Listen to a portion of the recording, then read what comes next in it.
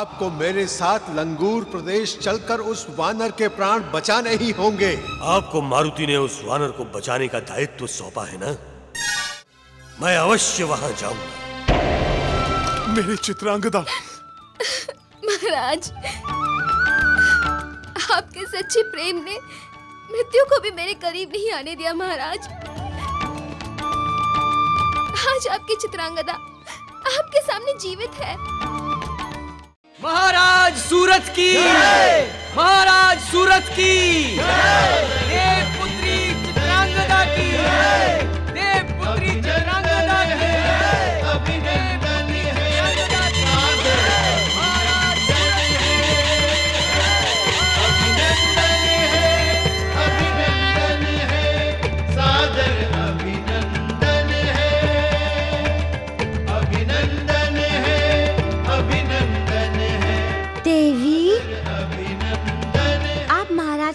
महल में पधारिए हम राजगुरु से कुछ बातें करके अभी आते हैं। चाहिए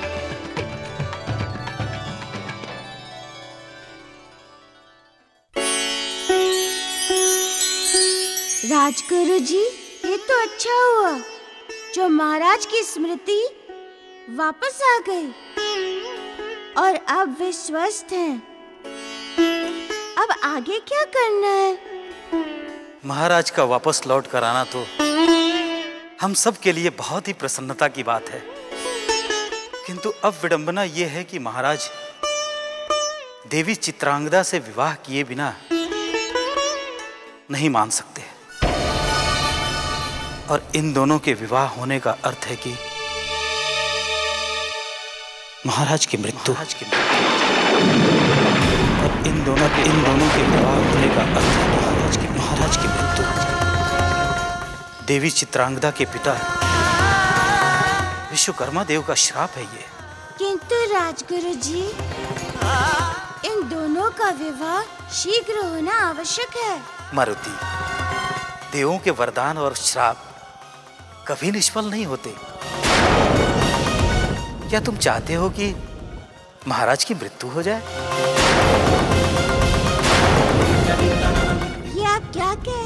रहे हैं राजगुरु जी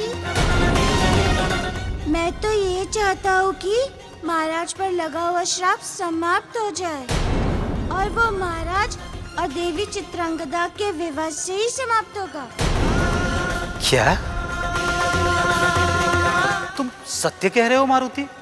हाँ राजगुरु जी मेरी मानिए और इन दोनों का शीघ्र से शीघ्र विवाह कराने का प्रयास कीजिए।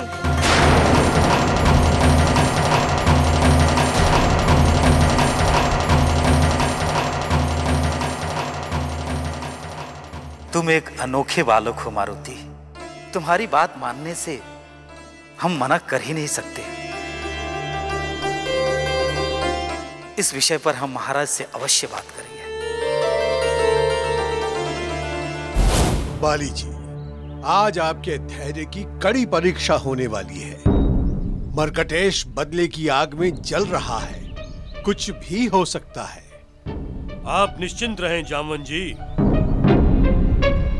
मुझे आभास है कि वहाँ क्या हो सकता है। बाली जी आपकी ओर से तो मैं निश्चिंत ही हूँ। क्योंकि मैं जानता हूँ आपको कोई परास्त नहीं कर सकता है। किंतु मेरी चिंता कुछ और ही है। इसके लिए आपको बल की नहीं धैर्य की आवश्यकता है। आप स्पष्ट कहिए जामवन जी आप कहना क्या चाहते हैं? वाली जी आप तो जानते हैं, मारुति कोई साधारण बालक नहीं है। वो जो कुछ भी करता है, उसके पीछे महान उद्देश्य छिपा होता है। ये तो सत्य है, जामन जी। मेरे लिए मारुति ने जो कुछ भी किया है, वो महान तपस्वी के लिए भी संभव नहीं था। किसी के श्राप का मोचन करना तो ईश्वर का कार्य है। और यदि ये कार्य मारुति स्वयं करना चाहता है तो मैं भी वैसा ही करूँगा जैसा मारुति चाहता है। हाँ अ, बाली जी मारुति चाहता है कि वानरों और लंगूरों में मित्रता हो जाए। इसके लिए आपको बहुत समझदारी से काम लेना होगा। ठीक है जामवन जी मुझसे जो कुछ भी बन पड़ेगा मैं करूँगा। ठीक है चलिए। बस बस वही रुक जाओ, वही रुक जाओ।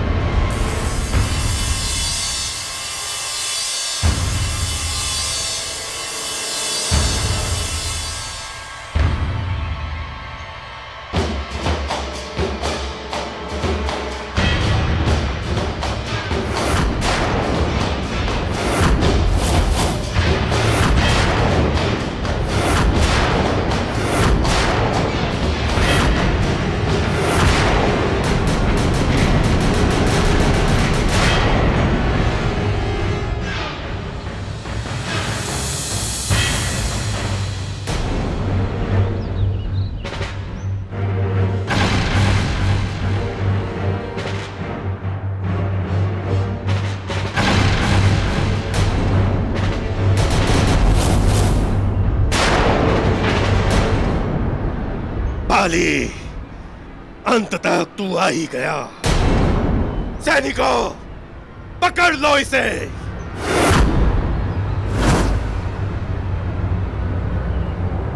बाली, तेरे विश्वासघात के कारण मेरी प्यारी बहन इस संसार से चली गई।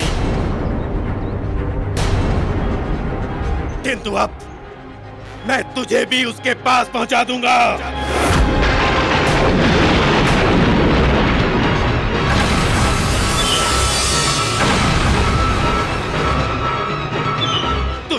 बदला चुकाना होगा। तुझे उसके साथ किए हुए छल का बदला चुकाना होगा।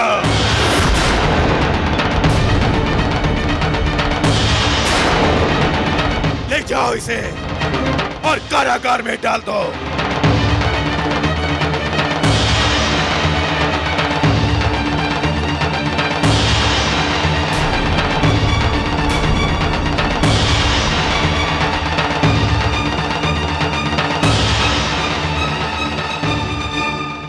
जामवन जी मुझे आप पर पूर्ण विश्वास था। आज मैं बाली को मारकर अपनी मृत बहन की आत्मा को शांति प्रदान करूँगा और बाली की मृत्यु के बाद मैं अन्य किसी वानर को नहीं मारूँगा। ये मेरा वचन है आपसे। किंतु बाली को तो मरना ही होगा। किंतु बाली को तो मरना ही होगा।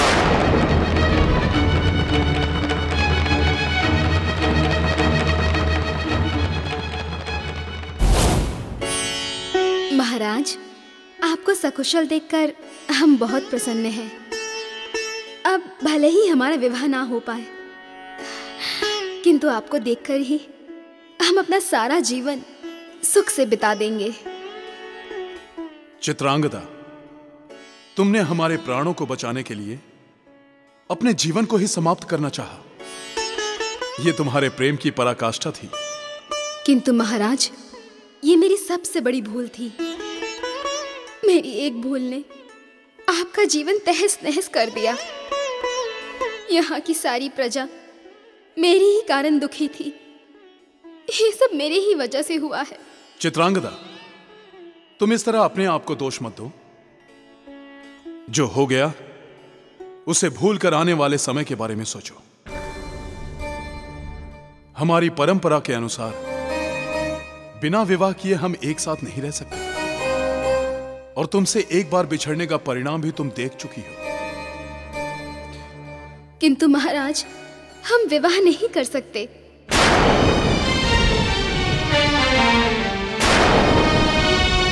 देवी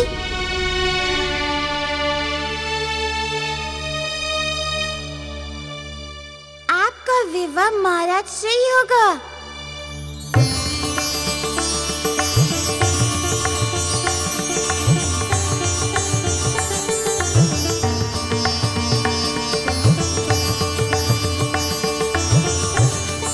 ये तुम क्या कह रहे हो, मारुति? देवी हम भी यही चाहते हैं। महाराज आप शीघ्र विवाह करके देवी चित्रांगदा को महारानी बना लीजिए। हमारी भी यही इच्छा है। किंतु आप देवी चित्रांगदा को मना लीजिए।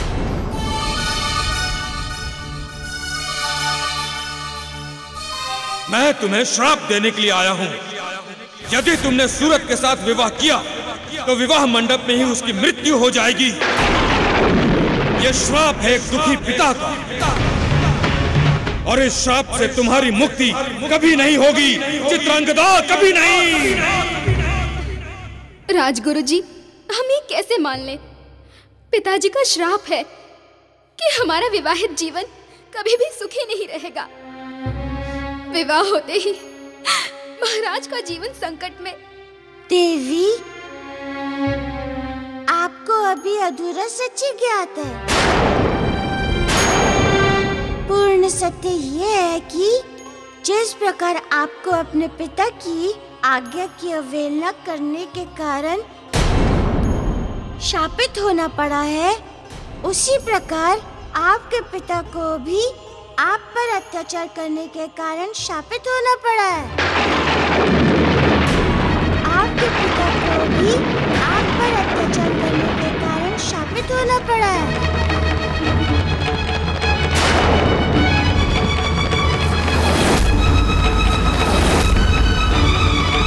मारुति ये तुम क्या कह रहे हो? यही पूर्ण सत्य है देवी।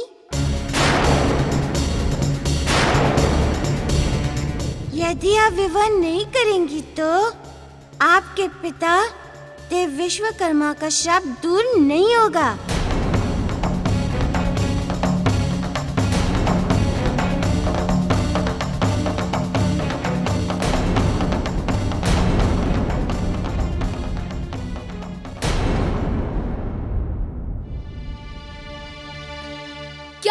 पिताजी को किसने दिया उन्हें श्राप देवी?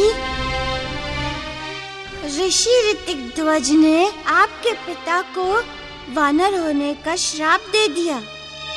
आपने देवता होकर भी एक पशु की भांति व्यवहार किया है। इसलिए मैं आपको शाप देता हूँ। इसलिए मैं आपको शाप देता हूँ। तुम अभी अभी इसी समय वानर हो जाओ। वानर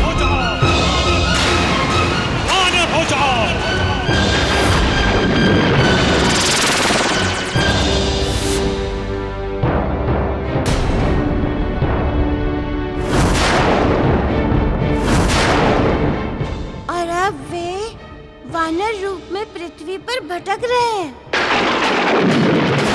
वानर रूप में पृथ्वी पर भटक रहे हैं। किंतु पिताजी ने ऋषि ऋतिक ध्वज का क्या बिगाड़ा था? ये तो विधि का विधान है। जो जैसा करता है वैसे ही उससे भोगना पड़ता है। फिर वो चाहे देव हो दानव हो या मानव। सबको उसके कर्मों का फल मिलता है।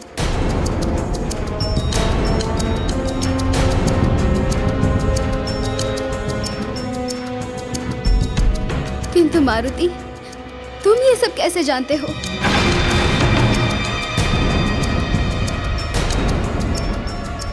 देवी वो हमारे राज्य में कई लोगों को घायल कर चुके हैं।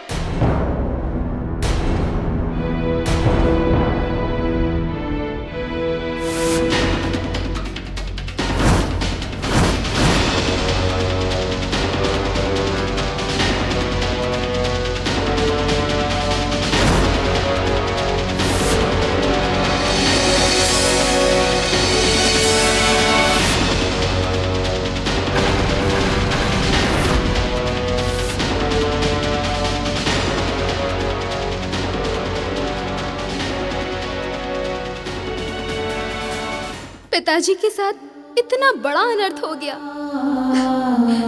और और हमें पता भी नहीं चला। जब तक विश्वकर्मा देव आपका कन्यादान नहीं करेंगे, तब तक वो अपने आप को भी नहीं पहचान पाएँगे। इसलिए आपका विवाह होना अति आवश्यक है।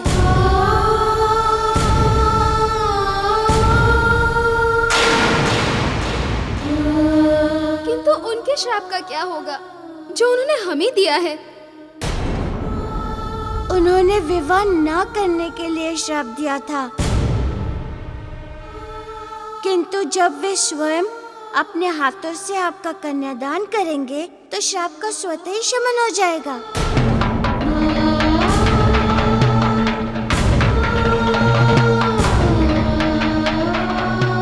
किंतु मारुति इतना याद रखना।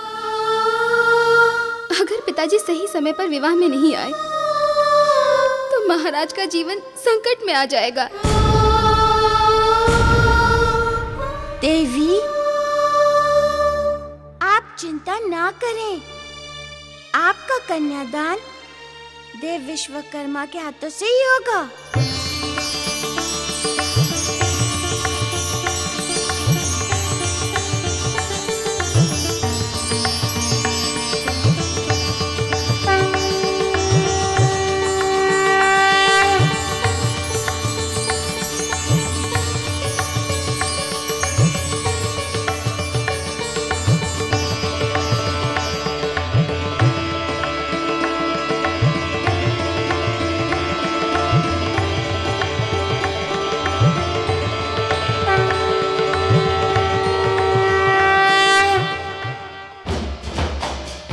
बाली तूने मेरी बहन के साथ प्रेम करके उसे धोखा दिया।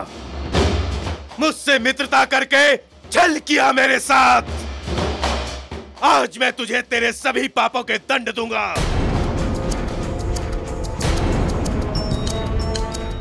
देख, बाली, देख। मेरी जीती जागती, हंसती खिल खिलाती प्यारी सी मासूम बहन।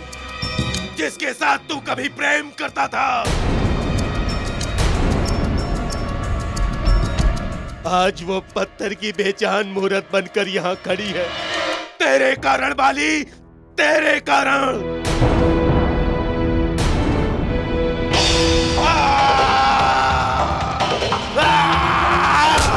तूने मुझे धोखा दिया।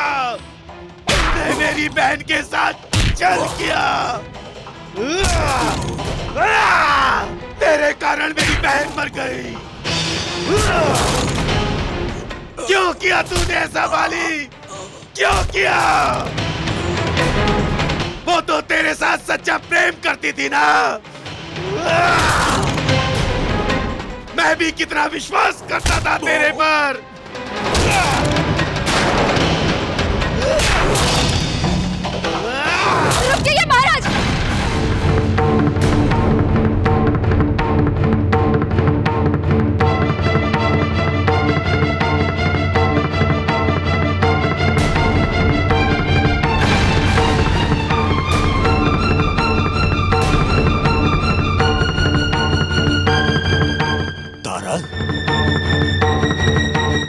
यहाँ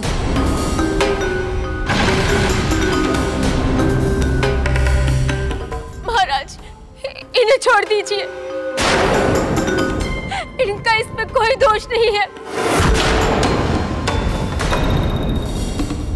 आपकी अपराधी मैं हूँ। झूठ बोल रही हो तुम। अपने पति को बचाने के लिए झूठ बोल रही हो तुम।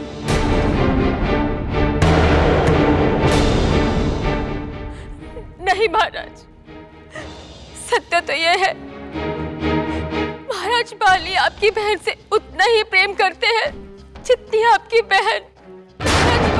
बाली आपकी बहन नहीं प्रेम नहीं प्रेम करते हैं आपकी बहन आपकी बहन।